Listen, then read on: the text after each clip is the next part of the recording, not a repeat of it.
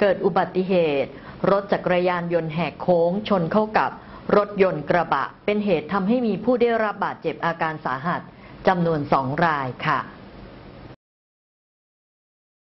ร้อยตำรวจเอกชัยพงษ์พาขุนทศ รองสารวัตรสอบสวนสถานีตำรวจภูธรแม่สอด พร้อมกู้ชีพกู้ภัยพระธาตุไปตรวจสอบอุบัติเหตุบริเวณ ถนนสายหนองบัวถึงบ้านหัวฝายตำบลพระธาตุผาแดง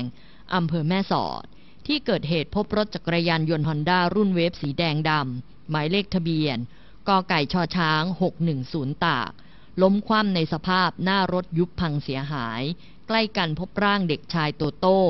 อายุ 13 ปี สวมชุดนักเรียน ขาดวุ่นวิ่นศีรษะแตก ห่างไปประมาณ 3 เมตร พบร่างเด็กชายเอโพอายุ 11 ปี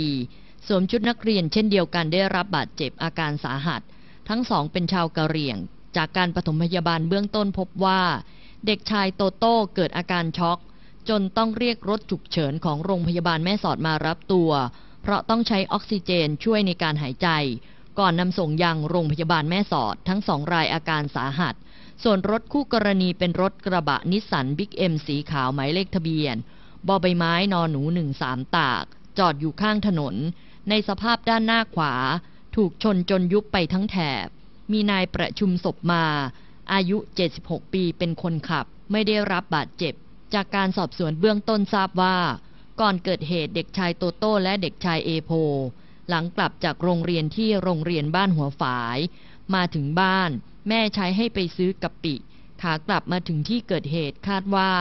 ขับขี่มาด้วยความคึกขนองพอเข้าโค้ง รถเสียหลักพุ่งข้ามไปชนรถที่วิ่งสวนมาอย่างจัง จนได้รับบาดเจ็บ อาการสาหัส สอบถามนายประชุมคนขับกระบะบอกด้วยเสียงที่ยังไม่หายตกใจว่า ขับรถกำลังจะไปไร่ ขับมาอย่างช้าๆ มองเห็นมอเตอร์ไซค์พุ่งมาอย่างเร็วและแหกโค้งเข้ามาชน